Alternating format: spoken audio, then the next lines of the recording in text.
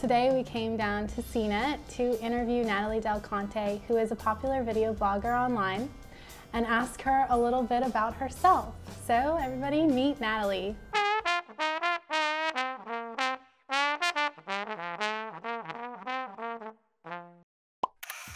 Steve Jobs bows out of Stevenote. A new PlayStation Portable is said to be in the works, and New Yorkers may have to pay extra for iTunes Music. It's Wednesday, December 17th. I'm Natali Del Conte, and it's time to get loaded.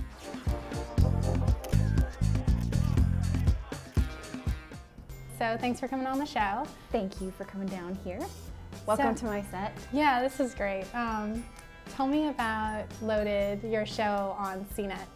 Well, Loaded is a daily technology news show, so we write it the day before and even the morning of. So it's a show that, in theory, you could wake up in the morning, watch it, and know everything that you need to know about consumer technology.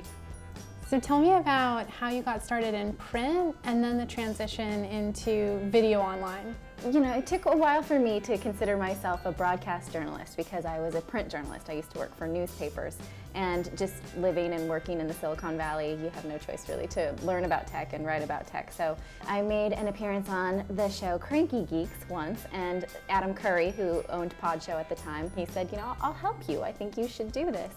Um, so I did it. So he, we launched Textra in 2007, and I did that for the whole year, and then I joined CNET in 2008. What are some of the ways that CBS buying CNET has affected your daily life?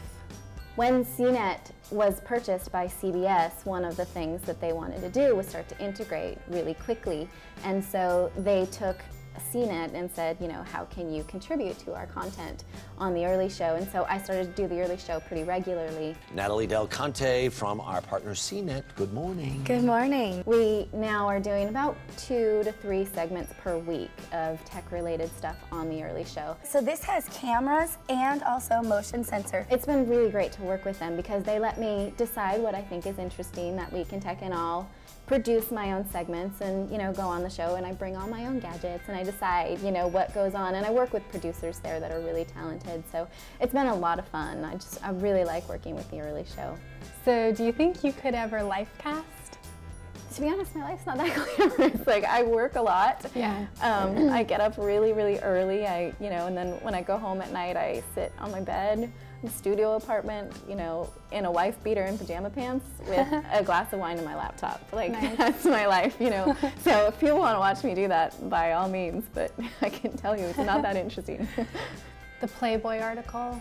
Oh yes Um, it's interesting to talk to you about this because you were in it too so Right. yes let's do So do you think that you get objectified sometimes from being on camera? you know, it's one of those things where you're like, okay, I'm flattered that I'm eligible to be considered for something like that, but it's not how I validate myself. It's Right. not the first foot I put forward, you know. I mean, you and I, we, we wear nice clothes for our shows and we wear makeup for our shows and we, we do want to look our best at all times and I'm very feminine and I like clothes and shoes and makeup and that kind of thing, but mm.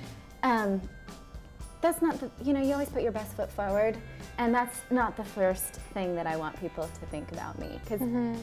people will watch your show because they think you're attractive, and that's fine, but they're not going to watch every day. You have to be mm-hmm. interesting, you have to be smart, and that's the first foot I put forward. So. Are you proud of yourself? How far you've come since being in San Francisco with Textra to now being a full-time broadcast journalist? You know, there aren't too many times when I just kind of sit back and look and say, oh, I'm doing so well for myself. But there are some times when I'll stop and say, oh my gosh, I've come so far, and just, you know, high five myself. Yeah, well, give me a high five for coming on the show. Definitely. High five for having me. Yeah, thank you. I'm Sarah, and this is Pop 17.